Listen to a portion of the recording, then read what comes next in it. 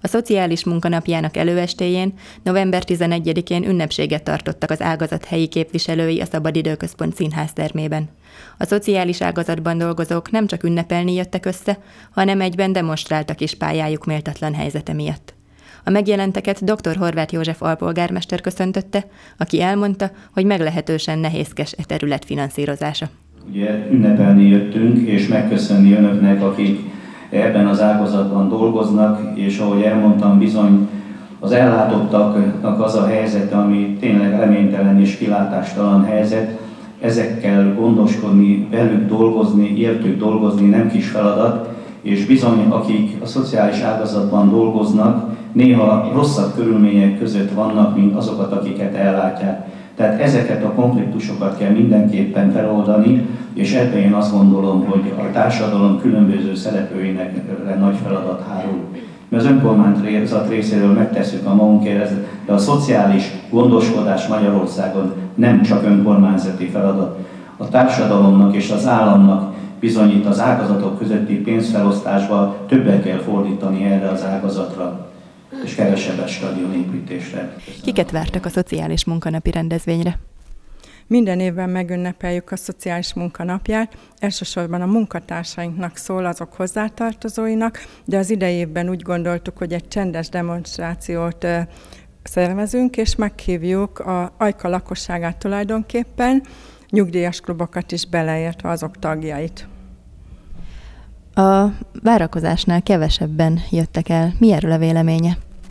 Igen, csalódott is vagyok, köszöntömbe bele is foglaltam, hogy eh, tulajdonképpen a munkatársaimnak nagy százalékának dolgoznia kell, tehát most is végzi a feladatot az igénybevevők eh, miatt érdekében, és eh, igazából azt gondolom, hogy a jelenlévők száma leképezi azt, ami a társadalomba is visszaköszön, hogy a szociális ágazatban dolgozók a, a gazdasági ágak legalján helyezkednek el, tehát kis létszámú ö, munkavállalókról beszélünk, és ö, hát nem vagyunk igazán megbecsülve, ki kell mondjam.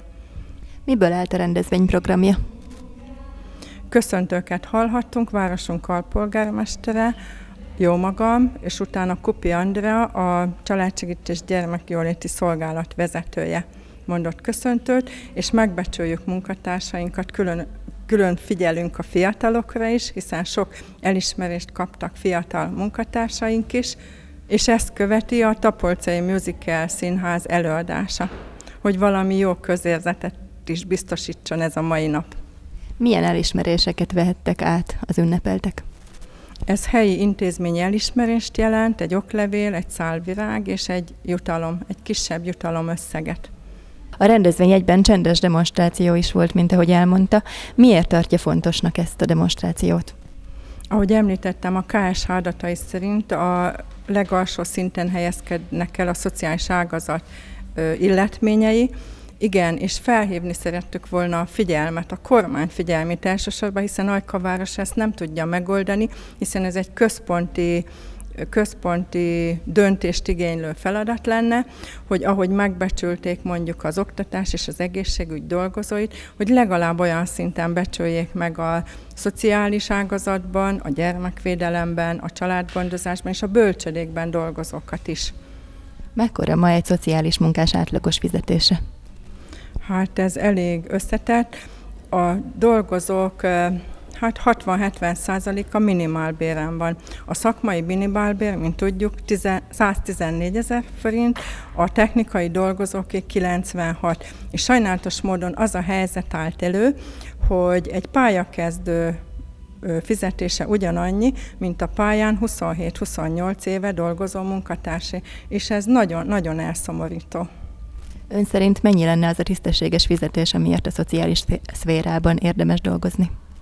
Hát ezt a döntést nem nekem kell meghozni, de azt gondolom, hogy ez nagyon méltatlan, és kizsákmányolja a szociális ágazatban dolgozókat. Azt sem szabad elfelejtenünk, hogy sokszor az ellátottak, az igénybevevők magasabb jövedelmi szinten vannak, mint azok, akik őket ellátják és kiszolgálják. Tehát ez nagyon-nagyon méltatlan, Hát én nem kívánok összeget mondani, de, de jóval többet érdemelnének ezek a munkatársak, ezek a dolgozók. hey, hey.